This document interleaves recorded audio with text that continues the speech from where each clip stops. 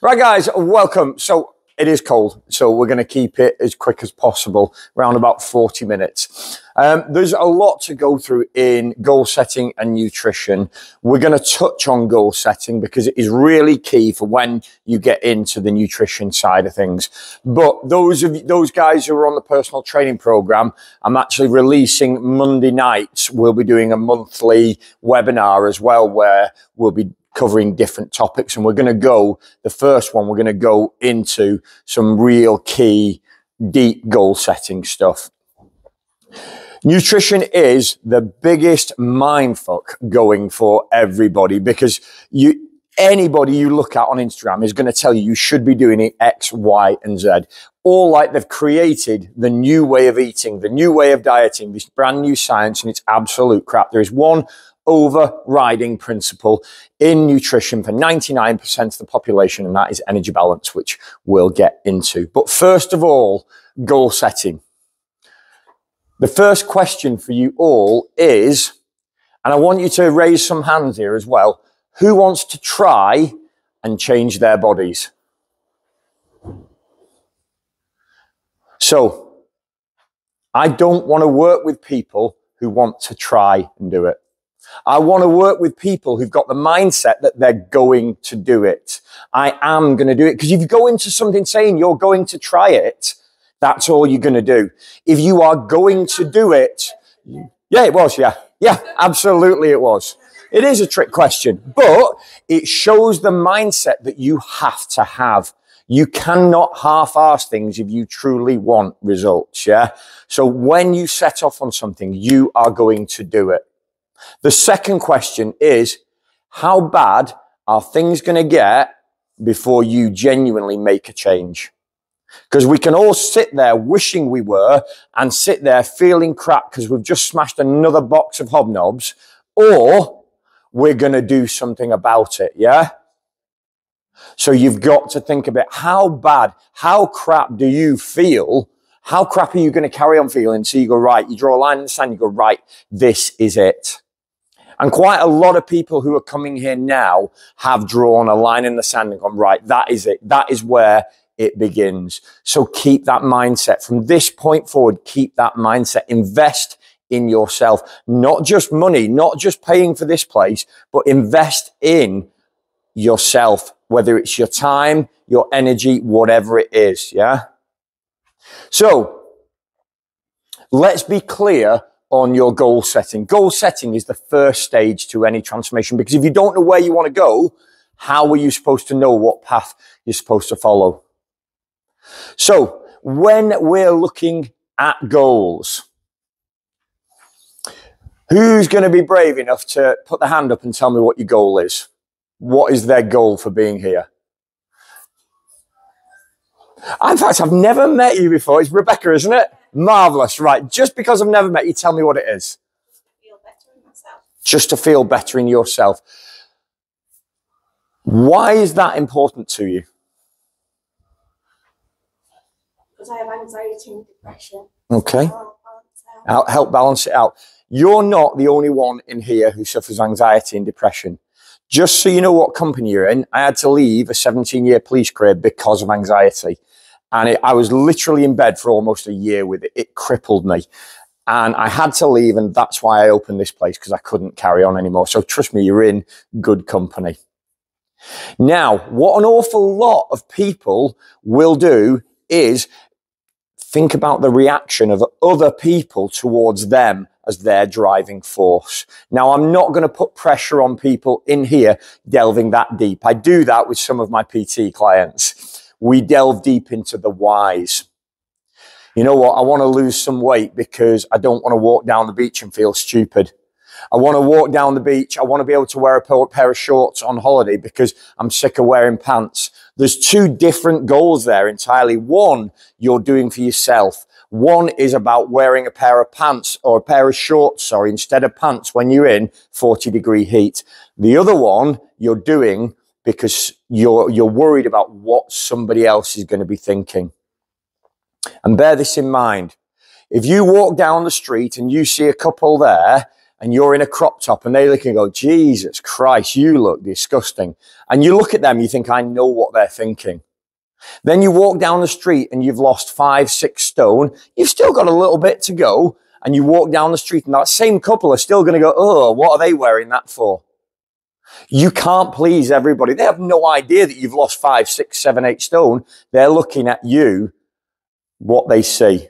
Who genuinely cares? What difference does it make what that person thinks to your life? They're going to have forgotten about you long after you forget, long before you forget about them. So we need to find a goal that works for us. Joe, picking on you for one that we had last year. Joe had never been on holiday and worn a pair of shorts. That's why I used that one before.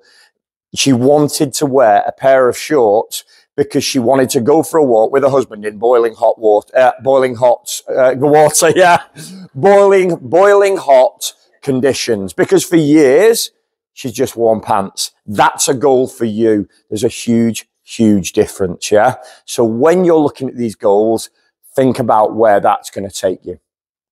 So, like I said, we're going to do that, um, more workshops online as well. But also think about what your success is going to feel like.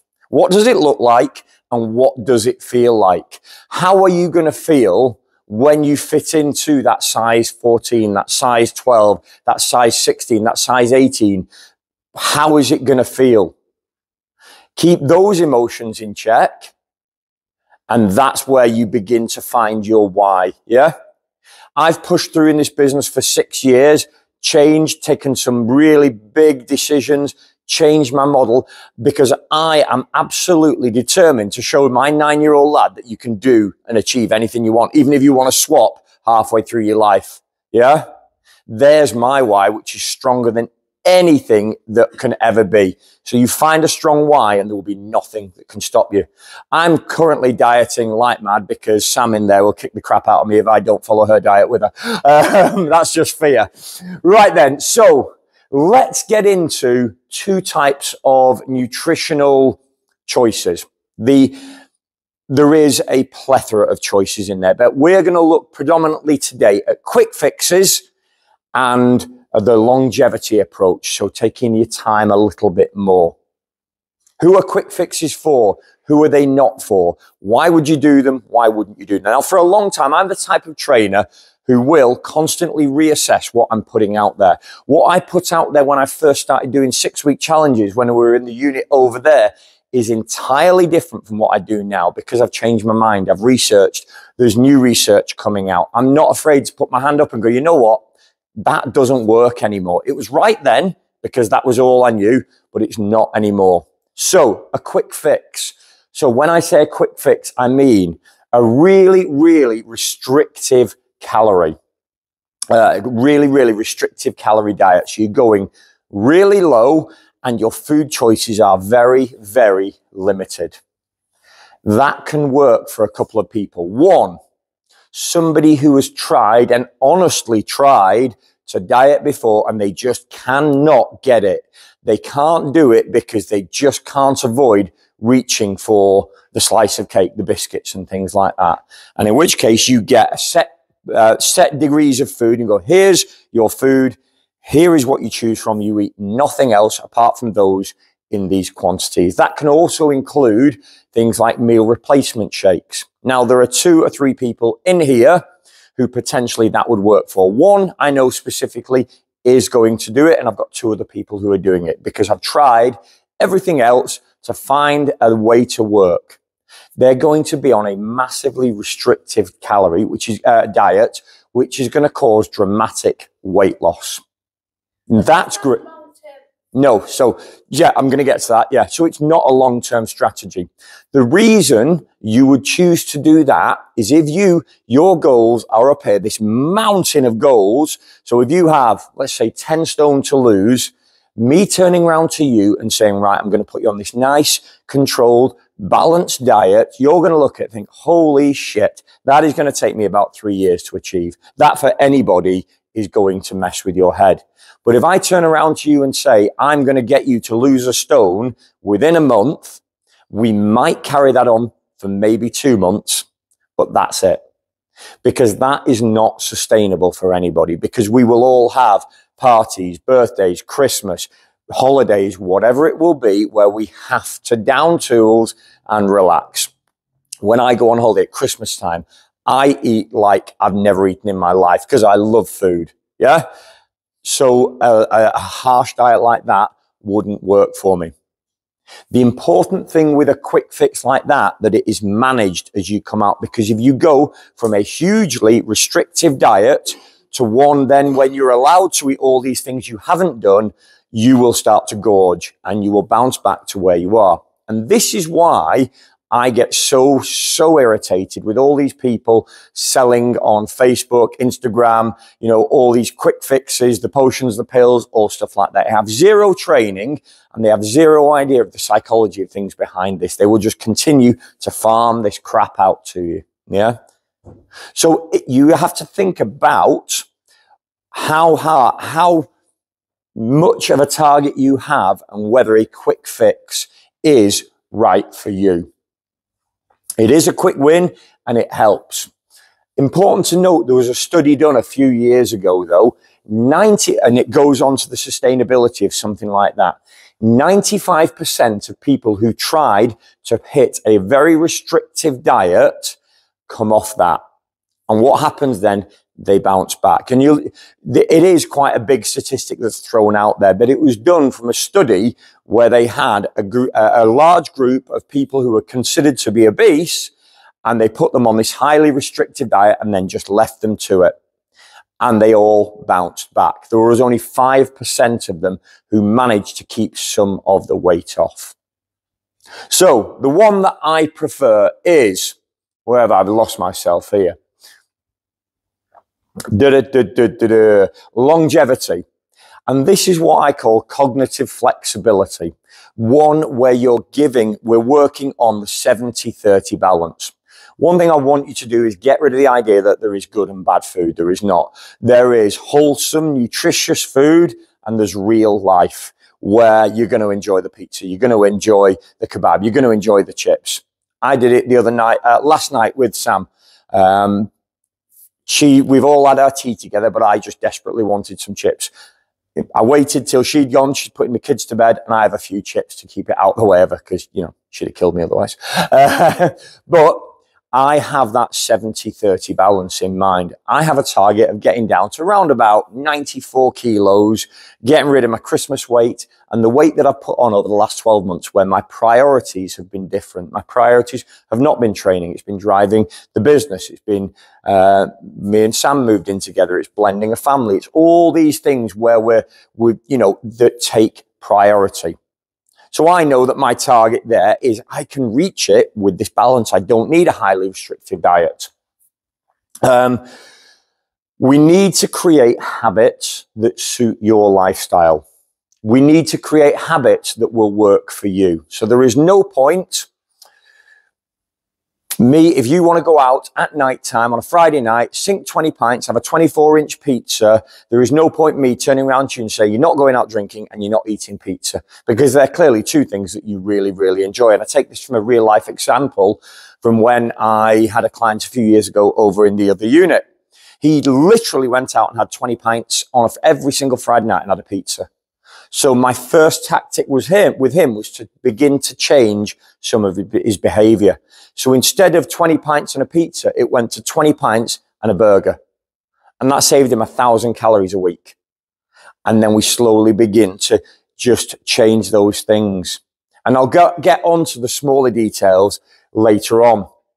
A 70-30 balance where your brain, the cognitive side of your brain, the thinking, we have that flexibility so that you know that you are not breaking your diet if you go out and have a burger. I know I'm not breaking my diet if I sit down with my nine year old and have a McDonald's because it's built into it.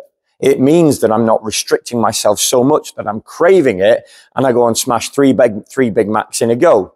I choose a hamburger, fries and a Coke Zero. I'm still enjoying it with my lad. I'm still showing him that, that you don't have to starve yourself. And he loves sitting with his dad having a McDonald's. and he eats more than me. so we work on that balance.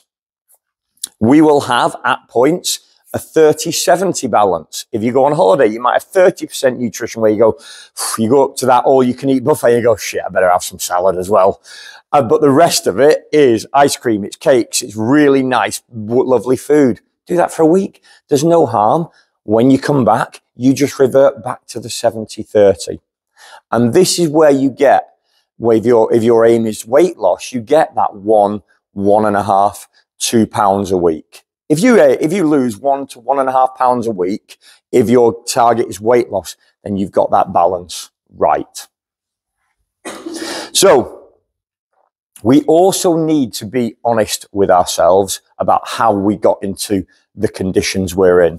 There is absolutely no point trying to point the finger at somebody else. There is absolutely no point in saying, well, it's, you know what, I've had kids and no, at the end of the day, we made the decision to eat. We made the decision.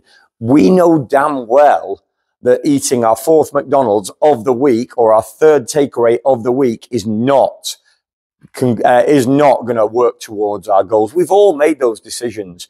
And yes, there are aggravating factors. I've done it. I know damn well that when I go to the chippy on a Friday, me and Gary this year, we had one week where I think we went to the chippy three times. We sat there going, what the hell are we doing? But we made those conscious decisions. So let's not blame anybody else for them. You made the decision. You can make the decision to reverse it. Because if you can't be honest with yourself, you can't be honest with me when I'm sat down in one to ones with you trying to talk about what's gone wrong. We know that most excessive food comes from sugars. Most of our excesses come from sugars and they can come from varying points. Carbs, alcohol, the odd biscuits, Costa, Starbucks. They are a nightmare for sugars and excess calories. One large cream latte, uh, milk latte is the best part of 300 calories. That's insane. For a man like me who has 2,400 calories, if I'm in a deficit, if I'm dieting, that's a massive chunk out of my day. So for some of you guys here who are probably on, you know, who should be eating maybe 15, 1600 calories, that's monumental. So I'm not saying don't have them, be aware of them. Um, unaccounted for calories, your, uh, the odd biscuit that you grab, the ketchup, the brown sauce, the mayonnaise, all these little things tot up. Because if you tot them up over a week, holy shit. And that'll come to one of the graphs I want to show you in a minute. So, as you're guessing, today is much more about behaviors because most of us know what we should and shouldn't be eating. And, you know, the, we will point you in the right direction if you don't. So the success in any transformation depends on our energy balance. That's what I spoke to at the very beginning. If you push either way too far, so you eat too much, you put weight on, you eat too little, you'll lose weight, but then you will bounce back. So it's finding that balance that we talked about. And this is where the principle of core four, those of you who are on the personal training program will, and those of you who have maybe looked at the videos, because I know half of you bloody well haven't. I know Victoria, you have though, haven't you? Yeah, swat. core four is the primary driver behind everything we do. And even if you don't count calories, if you get the core four in, you will, uh, you will begin to feel healthier. Two to two and a half liters of water every day. The body is 80% water. If we're not replenishing that, you will know about it. And you'll know because your pee is probably orange, you're not peeing as much, or your pee stinks and it's dead, dead easy. They're the three things you will know. You should be going to the toilet a good three or four times a day. Number ones I'm talking about. Number twos, depends how your guts work. but that's for another day. And it genuinely is for another day. That is about talking about gut health. Number two, goodness in green veg. How many of you honestly can put your hand up and say that you have enough green veg? Some of you will but most of us won't. Yeah? Because we always leave it to the last. And we, most of us will eat our teas when we're hungry. And the order it usually goes in is smash the carbs because that gives us the most amount of energy as quick as we can. Then we go to the protein because, you know, the meat's probably in a nice sauce or a burger or something like that. And then we leave the green shit to last because nobody likes eating grass. So try it a different way. Go for your veg first. Eat a little bit of your veg, then go for your protein, then have some of the carbs that are on there. And then repeat it in that order. Repeat it in that order. It takes 20 minutes from the moment a food hits your mouth, it goes to the gut and sends a, a signal to the brain to tell us we're full. So if we've done that with carbs, first of all, we've smashed a load of calories and not got a massive amount in return. We've got a load of energy, but low in protein and most of it is low in vitamins and minerals because it's the pastas, it's the processed stuff, it's things like that. So hit your veg first. We've got vitamins and minerals coming in. Then go for your protein. We need the protein to repair the body, to build muscle, to keep our entire, it's for our skin to regrow everything there. And then go for the carbs. I'm not saying you have to do this. It is all these talks that I do is about giving you tools, shove them in your toolbox and use them. Then we've got good sleep. And I can guarantee a shitload of you are going, I don't sleep very well. And there's probably a lot of things you can do. One, switch the TV off at least half an hour before you go to sleep. Put your mobile phone out of your bedroom. Because if we wake up in the night, what is the first thing we grow, go for in the middle of the night? Be quiet, Joe. Do as I say, not as I do. Isn't that the first thing we do? We wake up in the middle of the night, we go, oh, and then all of a sudden we're scrolling on Facebook. Why do we do it? I do it. I do it. But what I do now is I move my phone further away because I use it as an alarm clock. I leave it as far away from my bed as I can. And that helps me. I try my best not to scroll. Don't get me wrong. I do it because you do it out of boredom. You're TikToking. You, you want to giggle. You do whatever. Close, get some blackout blinds. Get rid of the light pollution. Yeah. Fresh bed sheets. All these little things that will help us have a more comfortable sleep. Exercise, whether that is going for a walk or training in a gym or going for a swim or whatever it is. If you can get that in, your body will become a little bit more tired. So you'll probably sleep better. All these things affect each other. If you begin to exercise, your sleep will get a bit better. If you get your diet, your uh, goodness in, so your vegetables, you'll be able to relax a little bit more. and I'm going to go on to one of the diagrams in a second in, in relation to all these, uh, how these all uh, small things work for each other. If you're having two to two and a half liters of water, your organs are working better. They're processing everything so much better. So your body is not as stressed. They all have a knock on effect with each other. Just keep it moving round and round and round. So that brings me to the first diagram. Now, I know unfortunately some of you uh, can't see it just because of the, the pens here, so I'll try and go over a little bit in the red there. So we're talking about not making monumental changes to our diets. We don't need to make monumental changes, most of us, because we know that what we're eating is good and what we're eating is bad. We need to make smaller changes. And this is how smaller changes can make a massive difference over a period of time. So we have here, let me bring it to the center. So we have here your current trajectory. You're beginning to put weight on the black line there. And you're thinking we need to make massive changes to drop it down here. So I want you to imagine a cruise ship traveling along and it changes its direction by one degree. That one degree here is you putting two to two and a half liters of water in your body. You're not going to notice an awful lot of change straight away. You're not going to see a directional change from that cruise ship straight away. But give it a couple of days and that cruise ship is beginning to go off course. Give it a couple of days and that water is beginning to have a positive effect on your body. It's not a massive change. Wake up in the morning, have a pint of water, have another one at dinner time, have another one at tea time. You're virtually there. Three times, 10 seconds a day, and you've made a monumental change to how your body works. Number two, get goodness in your green vegetables. Stick some green vegetables on your plate twice a day. That's it. It's not a big thing. We can all buy a bag of frozen veg, throw it into a, a Tupperware container or boil it or maybe even eat it cold. I don't know if anybody does, but I like cold broccoli. but we, again, it's not a massive change. All of a sudden that cruise ship has changed direction a little bit more. Your body is going, holy shit, what's this? I've got water and I've got vitamins. I've not heard of this before. Where's my beer? Then all of a sudden, number three, we throw in a good seven to eight hours sleep every single day. And all of a sudden, your body is beginning to respond. You're feeling better. You've got more energy. You've got more concentration. You've got more focus. You're happier. You've got more energy for the kids. You're not as irritable. Let's throw in a little bit of training. That's going to make us sleep even better because we're pushing. We're in an environment full of people who are all striving for that successes.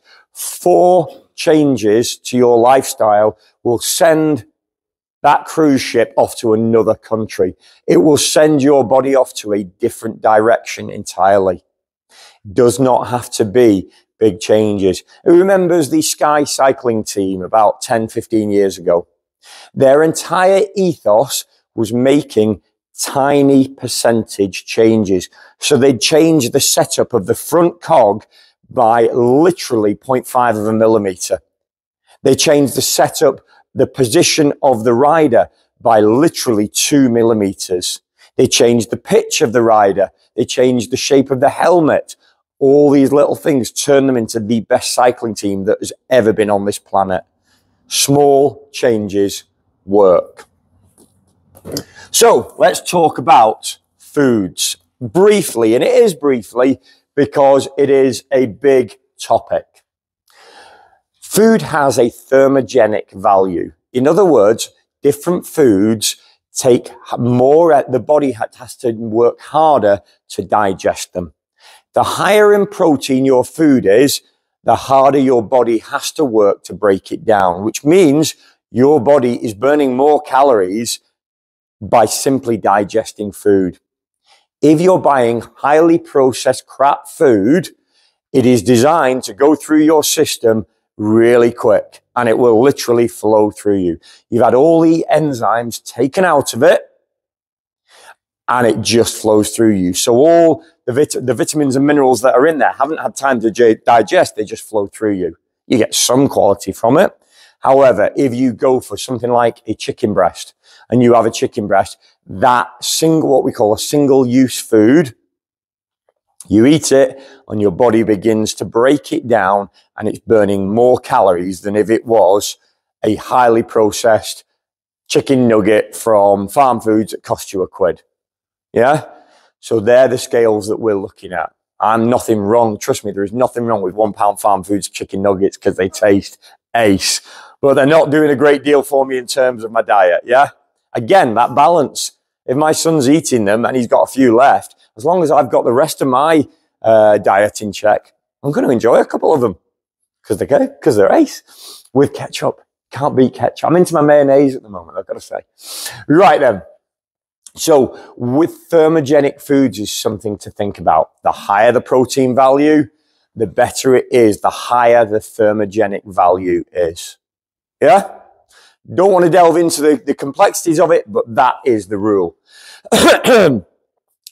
Diagram two, I'm going to draw on here, and I'm going to show you the effects on your body, on your energy system, sorry, of four different types of foods. High sugar foods, high carb shoes, shoes, foods, high vegetable based foods or meals, and high protein. So, if we've got, so I have to keep checking here. If we look at this graph here, along the up here is your energy. Here is time throughout the day, 24 hours. Here is roughly where we want our energy values. We want them to be roughly about that all day long. So we've got roughly the same energy. Yeah, there are peaks and troughs, but that's where we go. Now, I got into a bit of an argument on social media many years ago because I imagine, yeah, because I constantly used to see the same girl, about 12, 13 years old, leaving her mum and dad or parents, whoever it was, flat with a massive can of Red Bull every single morning. And I got really riled up with it. If we take that, and if you look at your stereotypical white van man builders, you will see a shitload of Red Bulls all across the dashboard, amongst everything else. It's that general kind of stereotypical diet we're looking at. If I have a Red Bull in the morning because I'm tired, it's going to spike my energy. Bang, I'm straight up there. The problem is it is full of it's full of stuff that we are really going to struggle to process. So what happens? Then our energy drops right down and we're struggling because then we're like that shit. I need some more. So I'm going to reach for something else. I'm going to reach for a Mars bar, a pack of crisps, something high sugar because I need to get back up there because otherwise my boss is going to kick my ass because I'm not working on the building site as fast as I should be. So we spend all day up and down, up and down. And then we go to the pub, we have a pint, we have crisps, we have a pie, we have whatever. That's what happens to our high sugar diet. Then we have a high carb diet where we're relying on chips, we're relying on potatoes, we're relying on pies. Not quite as severe, but carbs have a lot of sugars. And if we're looking at processed foods, we're looking at highly destructive sugars. So again, we see this. Exactly the same rhythm, perhaps not as bad, but we're still relying on sugars to power our day. Now, let's look at something where we have a balanced meal, where we do have our veg, where we do have our protein. We're going to have a breakfast that has got a decent protein value or something that isn't highly sugared. Maybe a protein yogurt, maybe egg on toast, something like that. We're going to have our energy and then we're going to dip a little bit. We're going to have our energy, but we're going to dip. And that we're quite happy with because at that point we go, you know what? I'm going to have my snack now, or I'm going to have my meal that I've prepared. So I'm not having to go to Tesco's and grab a Mars bar because I haven't prepped myself a little bit. Then we've got our high protein foods.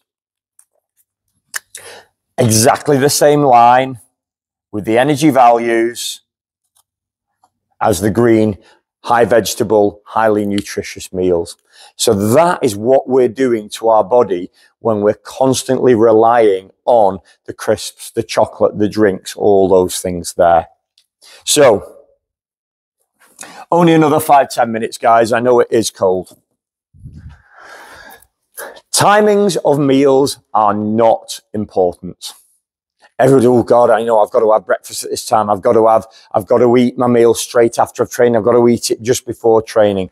It makes absolutely no difference. Your body will ask you. It will tell you when you're hungry. You will know when you're going to get hungry.